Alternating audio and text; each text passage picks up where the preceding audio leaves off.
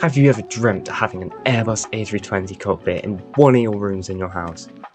But you look at them online and you cannot afford it. Well, same here. So, in this video, so I've made this, is to show you that you do not need to spend too much money to have a nice realistic experience that gives you more immersion for less money. So, welcome back to the channel and let's get into it. Okay, so now, here's the cockpit. And as of right now, it may just look like a bunch of cardboard boxes and some flight controls stuck on top of them. Well, trust me, it doesn't feel like that once you sat down. And once you experience this, you, you never want to go back to the old immersion again of just having a joystick on your desk. So, let's have a breakdown of how I made this. Firstly, let's start with the frame. I have made this with the intent to be dismantled and put up rather easily, so that's why it's made from cardboard. But don't get me wrong, it may look like may not look like it's the best, but still highly immersive. I've built this to fit into my surroundings of my room, which is on and under my desk, which I have a rather high desk and it's quite wide, which is why cardboard side panels hide most of the big gaps that you can see under the desk. This really makes it feel more immersive as it feels more enclosing and like a cockpit. As I was making this with not much money, most of the peripherals are on top of the cardboard boxes, but I made sure to look at the dimensions of the actual A320 to use the boxes which provide the most accurate dimensions to try to make it as close to a one-to-one -one scale as possible. It's a bit out as of like a few five centimeters or so, but if I had to make this out of wood maybe MDF, I'd be able to get the precise dimensions and make it a one-to-one -one scale, but for now, this will do. And now, for the side stick. I used the Thrustmaster TCA Airbus Edition side stick. I have used this product now for a few years and I absolutely love it. It's got so many buttons which you can map as well as replicating the Airbus feel, and it, it needs ample force to move it. Also, there are size, other side sticks I'm yet to try yet for about the same price, mainly being the Winwing Ursa Minor airline side stick.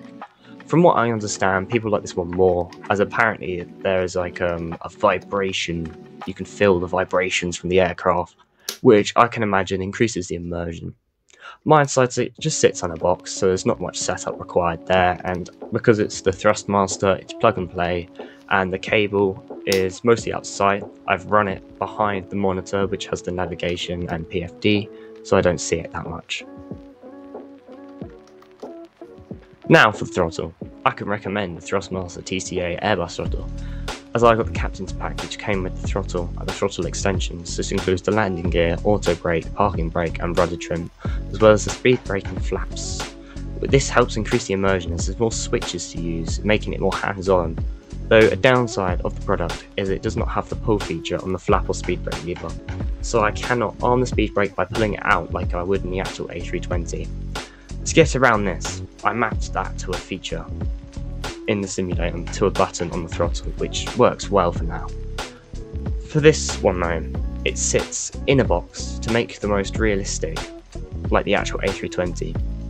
To do this, I found a relatively large block box and drew around the throttle, then cut out the shape, and then inside the box it was obviously empty. So I put another side box sideways into it to give the throttle something to sit on, and then I realised it was too low.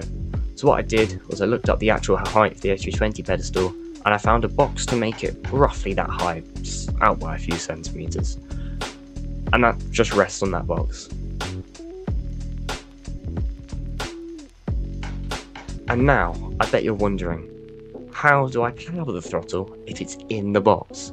I do this by putting the cable through the box that's the side is still taped.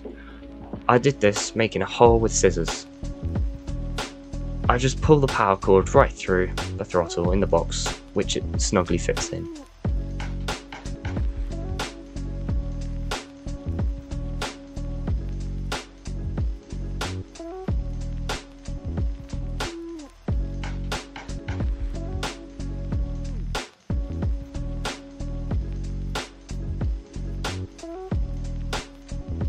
Now, the rudder pedals.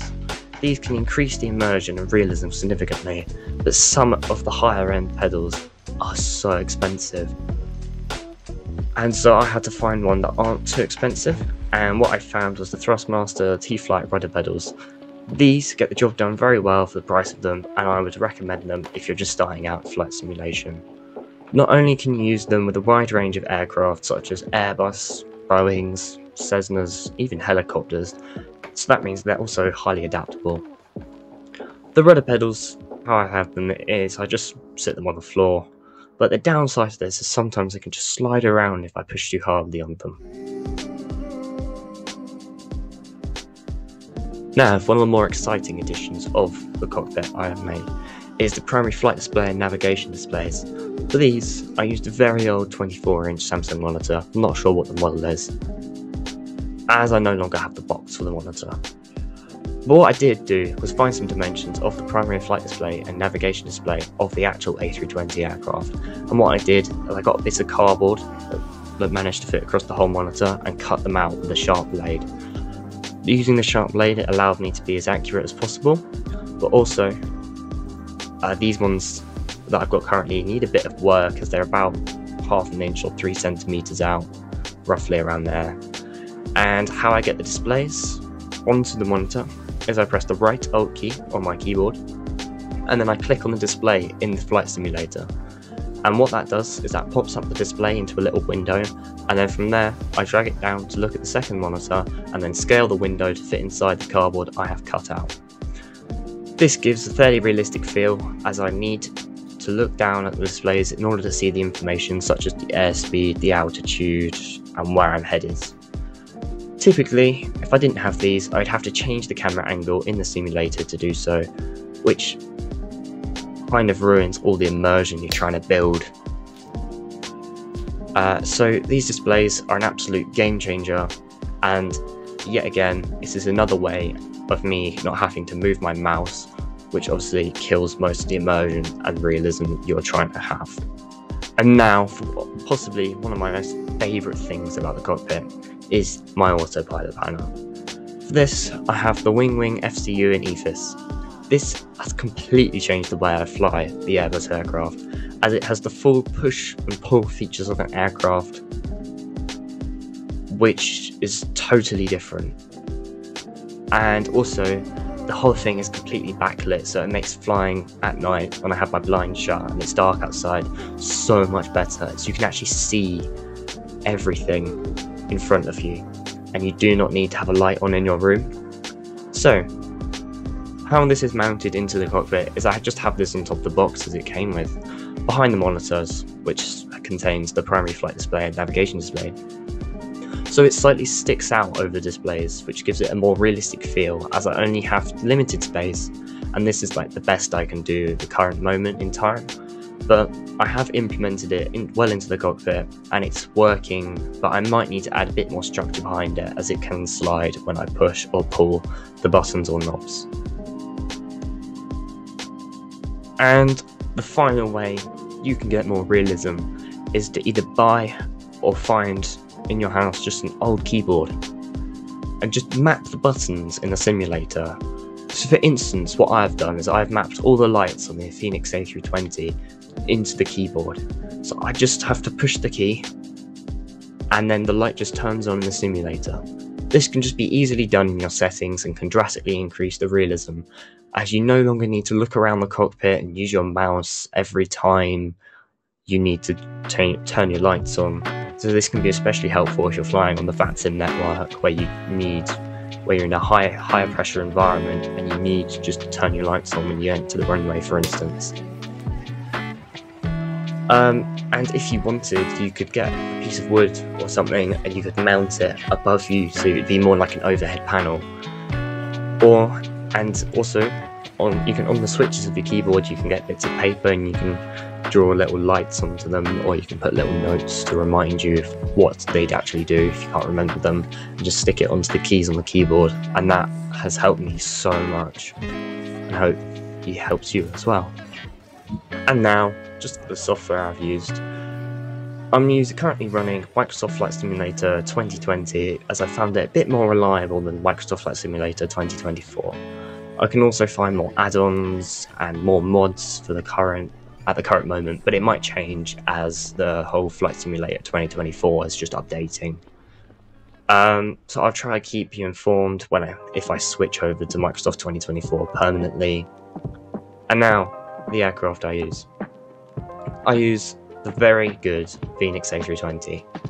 This was the first purchase I had made in the Flight Simulator, as I understood from what it was, it was going to be one of the best aircraft out there. And it is, honestly, one of the most realistic feeling aircraft, just the physics, the systems, how it's all worked. And Fenix have crafted it perfectly, and it looks incredibly good in the simulator, especially when you have those 8K liveries on there. Obviously, all the textures in the cockpit are so good, and they're all crisp and clear on the displays I've got. But what's even better is it really does not kill the precious FPS in the simulator. And you can, if it does for you, what you'd have to do is you'd fiddle around with your settings, maybe make outside look a bit worse, or some of the instruments and things in your cockpit make it a bit worse. But if, if you want, I can make a whole video covering settings for it if you really want. I'll try to find the best ones out there for you guys. Anyway, I would highly recommend the aircraft. I've used it, I'd say about two years now, and it just hasn't disappointed me. And also, it allows you to make even simulator more realistic as you can use their um, EFB, which is like the iPad in the simulator, which also has the MCDU on. So you can have that on a remote display, like a tablet, which is what I've got, and that saves you entering all your flight plans with a mouse obviously increasing your realism. And obviously, as well out there, there are some good aircraft that have the same features, such as the fly-by-wire A320X and the A380 as well. Also, the Headwind Simulations A330neo. In my eyes, they are all solid free aircraft, which may not, not look as good as the Fenix, but they certainly get the job done and they do it well. And so, that concludes the video. I hope you enjoyed and learned something new. If you feel I could do anything better, please let me know in the comments, and if you'd stayed until the end, please consider liking and subscribing to help me make more content like this in the future. Many thanks, and have a great day.